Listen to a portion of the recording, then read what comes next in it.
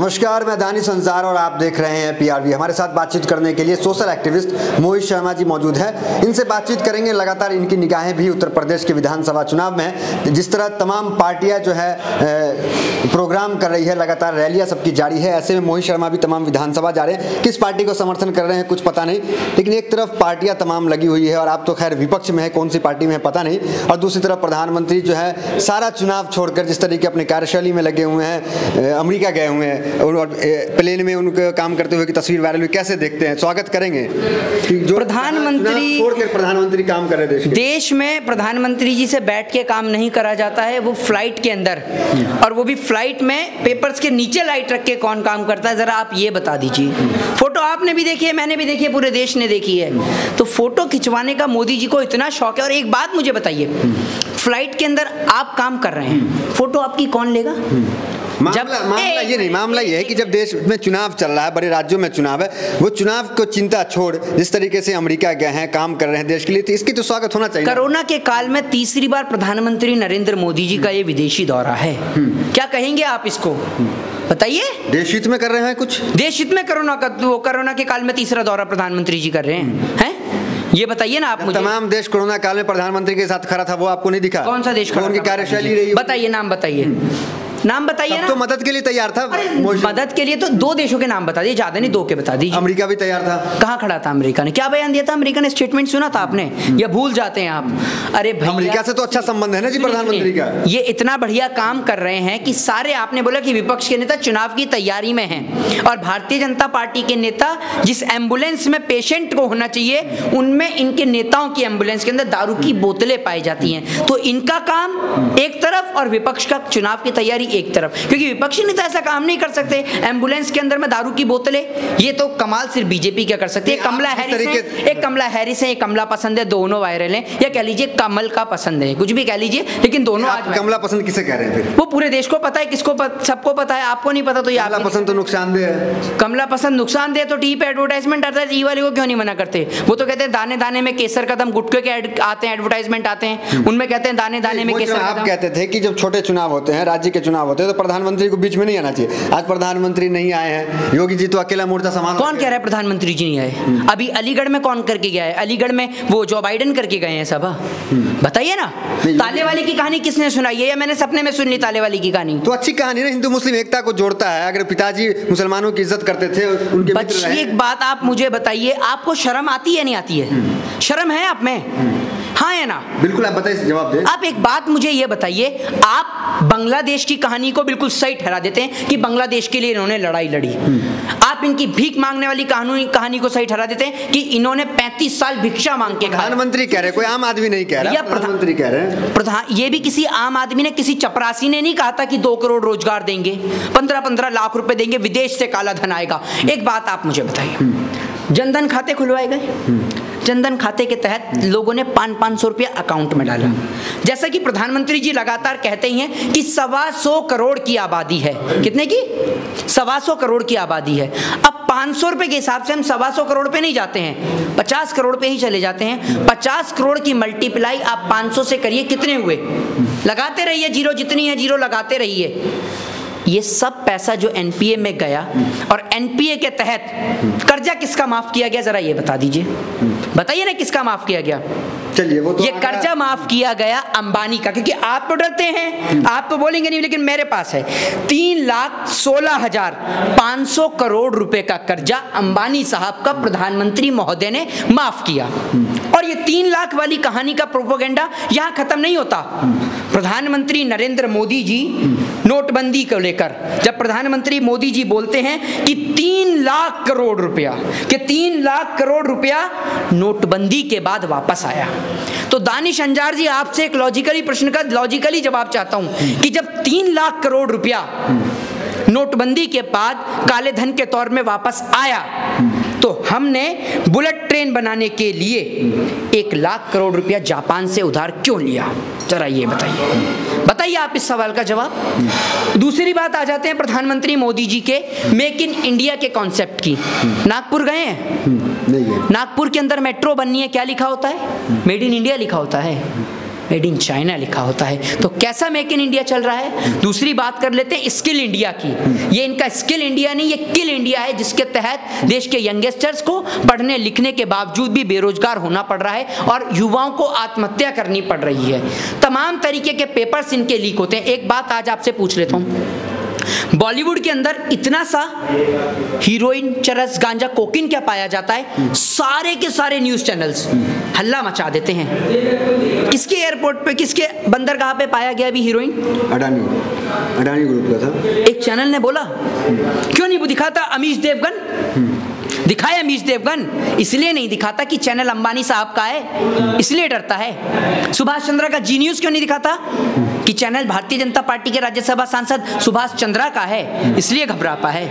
अर्नब गोस्वामी चिक चिक के क्यों नहीं चलाता कि मुझे हीरोइन चाहिए हीरोइन चाहिए?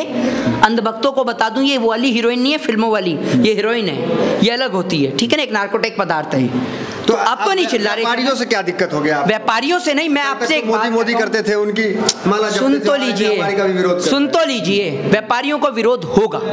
जब एक व्यापारी अंबानी और अडानी दो गुजराती बेच रहे हैं दो गुजराती खरीद रहे हैं पूरे देश में यही मतलब व्यापारियों का ताल्लुक प्रधानमंत्री से कैसी बात कर रहे हैं? हाँ? ताल्लुक जोड़ दिए आप। हाँ बिल्कुल। गलत क्या कह रहे हैं? जोड़ा नहीं है यही रियलिटी है। आप डरते हैं बोलने तो से सरकार व्यापारियों से जुड़ी हुई है सरकार निश्चित तौर पर जुड़ी हुई है। एक और व्यापारी आप आज खोल दीजिए प्रधानमंत्री पीएम केयर फंड, की जनता के सामने आना चाहिए पीएम केयर फंड में किस किस ने पैसा दिया है।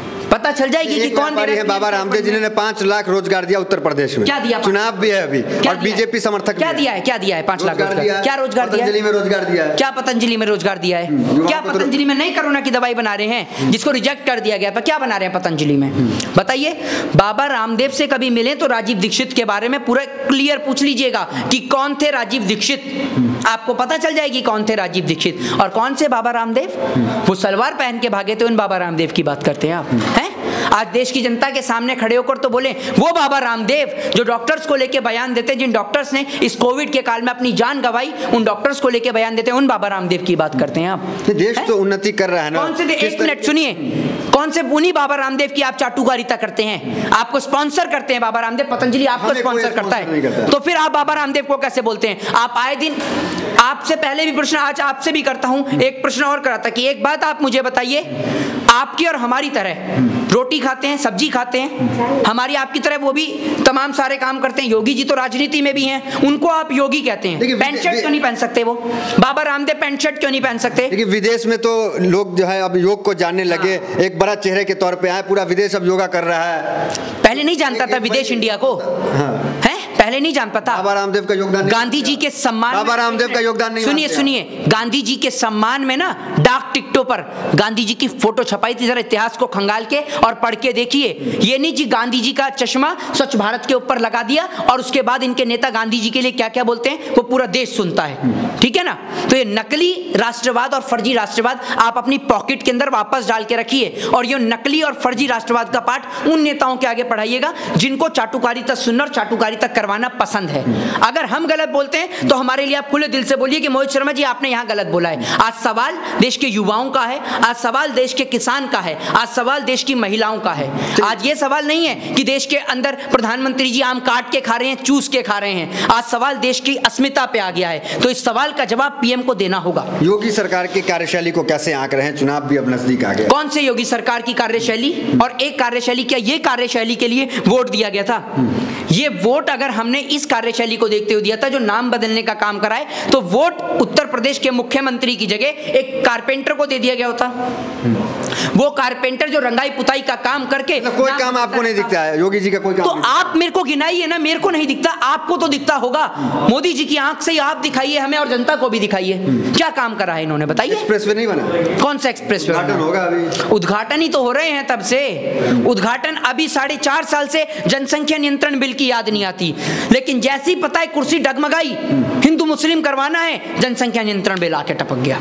साढ़े चार साल से कोई यूनिवर्सिटी की याद नहीं आई लेकिन जैसे ही दिखा कि चुनाव नज़दीक आ रहा है हिंदू मुस्लिम का प्रोसेस काम नहीं कर रहा राम का मुद्दा जनता समझ नहीं रही है क्योंकि समझ गई है जनता राम और रहीम को लड़ाने का काम बीजेपी शुरू से अब तक करती आ रही है। तो यूनिवर्सिटी का उद्घाटन कर डाला।